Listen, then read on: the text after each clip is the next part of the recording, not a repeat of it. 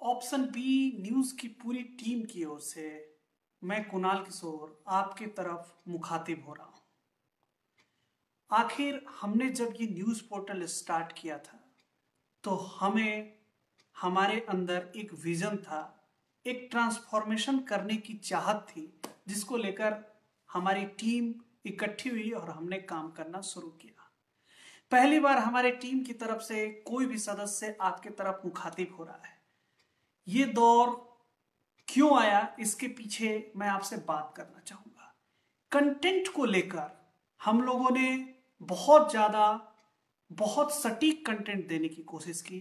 Hyper local में बिहार को cover करने की कोशिश की ट्रेंड्स को पकड़ने की कोशिश की और कहीं ना कहीं कोशिश की कि हम कंटेंट को लेकर जो व्यूअर हैं, उनके लिए ज़्यादा सोचें।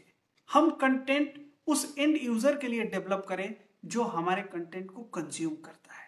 लेकिन आपको जानकर आश्चर्य होगा कि जब हम कंटेंट का कंजम्पशन पैटर्न देखते हैं तो हमने वैसी स्टोरीज को, जिसको बहुत मन लगा कर किया और जो आपके जीवन में बहुत ज़्यादा परिवर्तन ला सकती थी, वैसी स्टोरीज को आज के जनमानस में कम पढ़ा जा रहा है।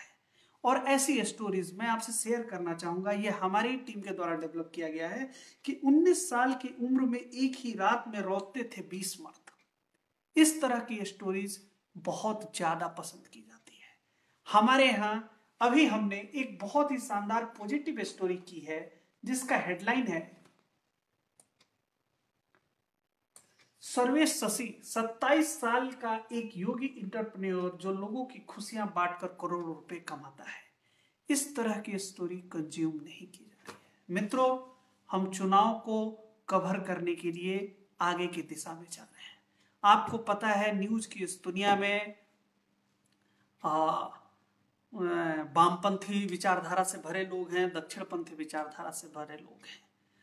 लोग ऐसा दावा करते हैं कि पहले वो देश के बारे में सोचते हैं, फिर पार्टी के बारे में सोचते हैं और फिर अपने बारे में सोचते हैं।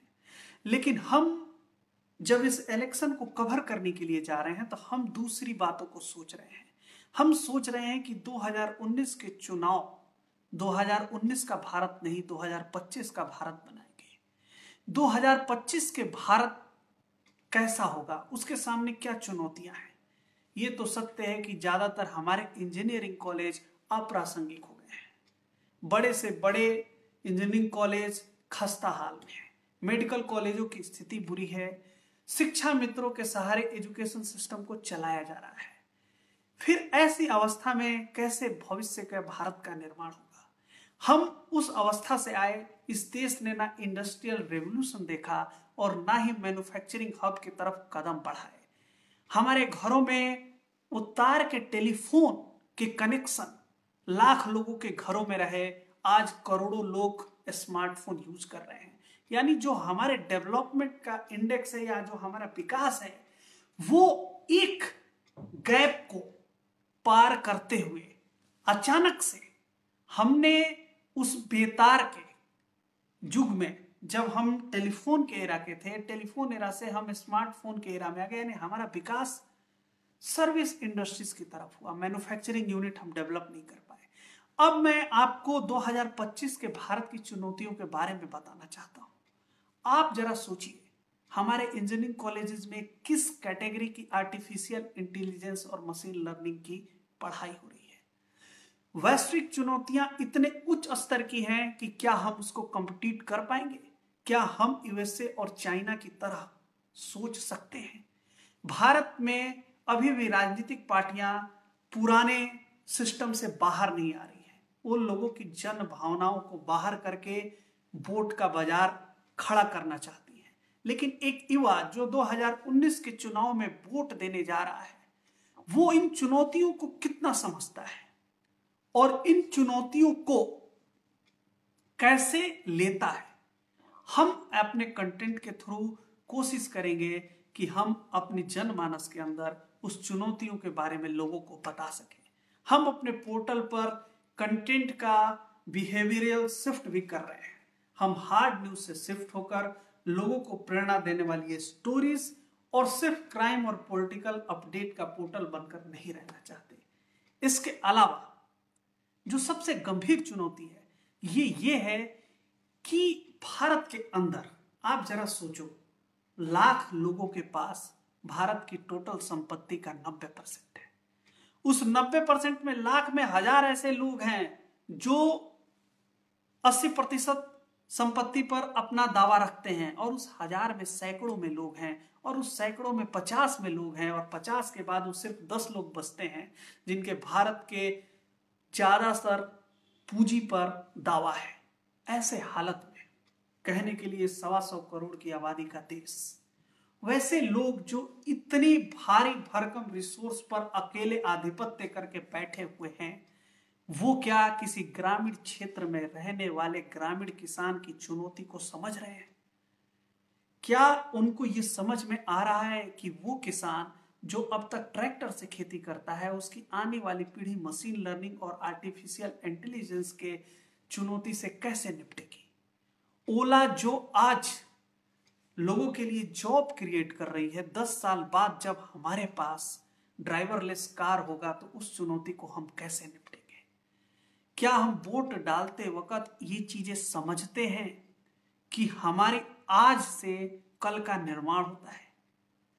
और आज की युवा पीढ़ी जो तमाम तरह के दबाव में जी रही है, वो स्ट्रेस में जी रही है। एक व्यक्ति चार आदमी का काम कर ह्यूमन रिसोर्स हमारा सबसे ज़्यादा दबाव में है। हमारे पास ट्रेवल करके ऑफ़िस तक पहुँचने के सिस्टम अभी भी पुराने हैं।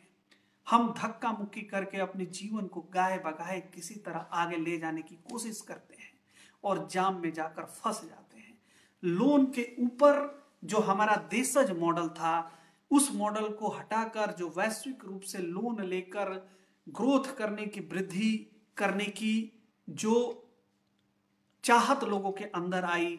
आज एनसीआर के अंदर सैकड़ों फ्लैट बनकर खड़े हैं। या तो बिल्डर्स भाग गए या उस फ्लैट में रहने वाले कोई नहीं। यहाँ पर 40 परसेंट फिल रेट है। एक एक करोड़ रुपए के फ्लैट बेचे जा रहे हैं दो हज़ार स्क्वायर फीट और ढाई हज़ार स्क्वायर फीट के।